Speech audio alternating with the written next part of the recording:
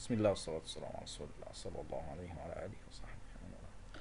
Hello and welcome everyone. In this session we'll talk about the OSPF LSA types. What is LSA? Link state advertisement or link state update or link state request. OSPF depend on the thing that called LSA. Link state. Whatever comes after the S advertisement, update, request, acknowledge. So anyway, we agreed that the OSPF it's unlike the distance vector protocol. The OSPF and the ISIS using the same mathematical system, the, the same algorithmic thing, the Dijkstra algorithm, which doing what actually? Building it's kind of a navigation system like Google Maps inside each area. Each router speaking OSPF should do what? Just just imagine that we have router uh, 11 or router 5 in here. Router 5 running OSPF on the 1, 2, 3, 4 links router 5 should advertise LSA type 1 to the neighboring router. Saying what? Saying I have LSA uh, a specific LSA type 1 and it has a sequence specific sequence. And this LSA with the specific sequence contains what? Contains the link attributes which the OSPF running over. So let's just go to router 5 and check this. So right now I'm talking about the LSA types and uh, from gathering the LSA type 1, 2, 3, 4, and 5 and 7 the OSPF actually build its topology by combining all of these LSAs into the topology table and then use it to uh, build the shortest path uh, tree. So if we say here show IB OSPF interface brief, as we can see the OSPF actually running on how many interface? One, two, three, four, five. So this is means that the OSPF going to generate LSA type 1 defining the attributes, the status of each link loop 0, 1, 0, 0, 2, 0, 1, 0, 0. So let's see that. Show IB OSPF database. By the way, the LSA type 1, they call it what? LSA type 1 router LSA.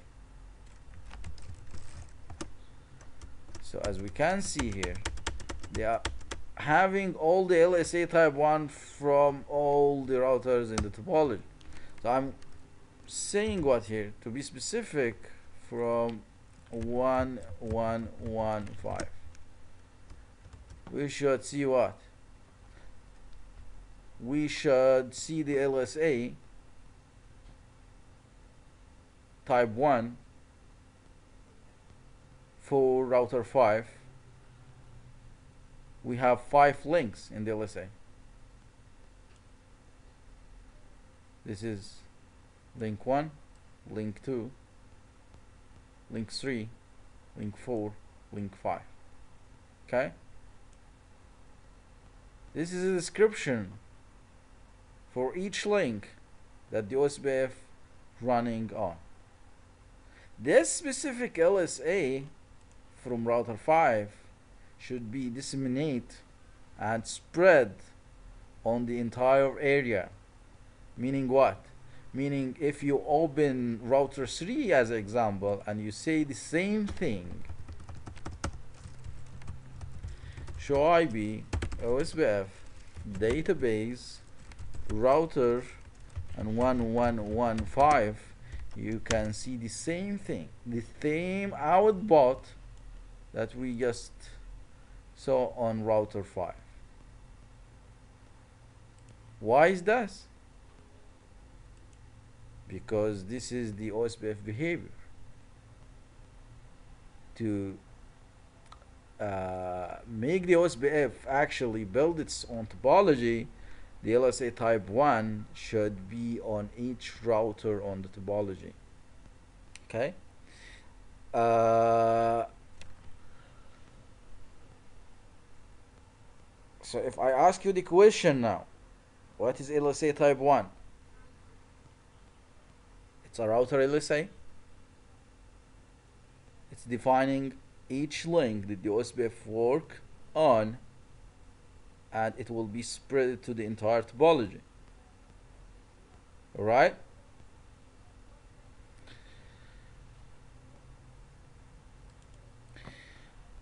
Okay the thing is about the LSA type 1 it's just it will stay inside the area.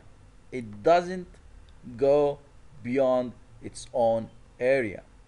Meaning what? Meaning router 5 is in area 0 the LSA type 1 or the router LSA type 1 regarding 5 or 4 or 1 as long as they are in the area 0 this LSA type 1 doesn't go beyond area 0 or if we are in area 10 it doesn't go beyond area 10 okay? So uh, the uh, conclusion from this that the LSA type 1 stays always on the on its own area. Doesn't go beyond. Okay guys? We'll go to the LSA type 2 but after this we should talk about what about the OSPF prefix suppression it's related to type 1 why? How it's related? We'll answer this question in the next video. So stay tuned guys. See you next